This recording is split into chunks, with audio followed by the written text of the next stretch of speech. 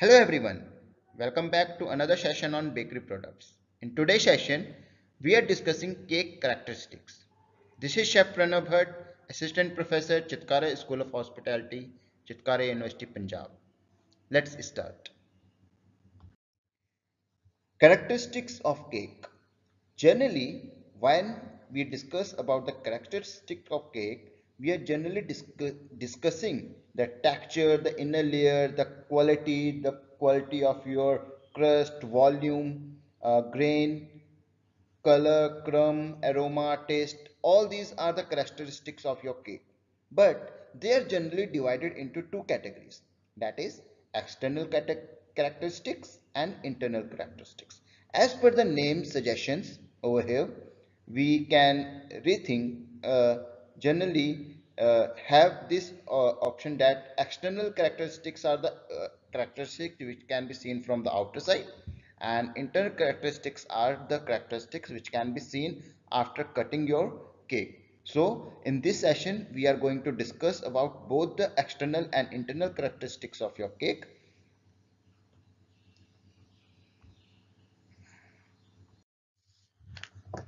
now about discussing about the characteristics we are now discussing the external characteristics of your cake in this uh, characteristic there are uh, five uh, things which we we can see on a cake and we can judge the characteristics by volume color of the crust symmetry of form crust character and bloom.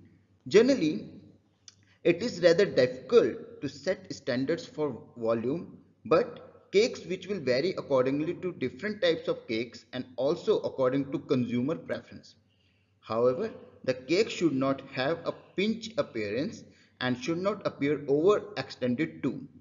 A well-risen cake will have a pleasing appearance with slight convex top surface, although the relative weight of particular volume of cake will differ in different types of cake. But cake should not appear too small or too large for its weight. As uh, we are discussing about the color, color of your crust, the crust should have a pleasing golden brown color. Too dark or too light or dull color is not desirable. Crust must have a uniform color, free from dark streaks or sugar spots or greasy spots. Symmetry of forms, cake should have a symmetrical appearance. Peaking, crack on top surface, low sides, shrunken or high center, brushed, caved in bottom or even top or undesirable characteristics are there. So we need to take care of this also. Character of your crust. That means crust of a good cake should be thin and tender thick, rubbery, sticky or over moist, too tender, tough or blistery crust is indicative of poor quality of your cake. So you have to be very clear and very uh, take a very uh, serious note on this. Bloom, bloom is basically when your cake is uh, not getting that particular shine and all that, right? Now uh, discussing about the internal characteristics of your uh, cake, we have to go through grain, crumb of your color, aroma, taste, and yes, most important nowadays, shelf life. So, the grain is a structure formed by extended gluten strands, including the area they surrounded. Grains will vary according to the type of cakes. However, uniformity of the size of cell and thin cell walls are desirable qualities. Coarseness, thick cell walls, uneven size of cells, large holes and tunnels are indicative of poor grain. Grain should not be too open or too close. Now, crumb of your color. Crumb should be have a lively, lustrous and uniform color. It should be free from any streak or dark patches. Green, non-uniform, dark, light or dull color of crumb will be undesirable. Aroma.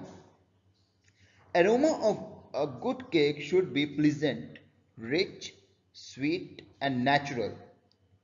It is not desirable to have any foreign aroma like aroma not produced by normal ingredients of cake, flat, musty, strong or sharp aroma is indicative of poor quality of your cake. And taste.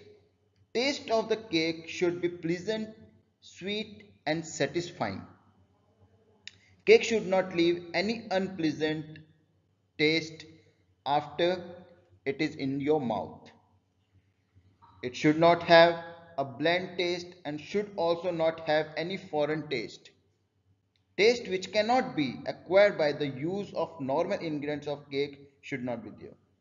Use of excessive salt or soda will also adversely affect the taste. Shelf life.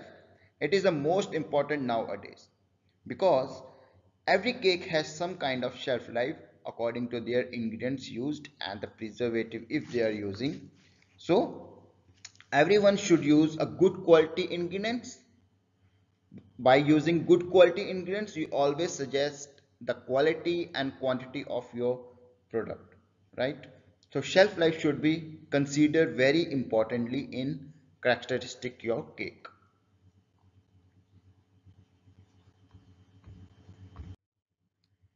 thank you very much. We will meet again in our next session that will be on cake faults.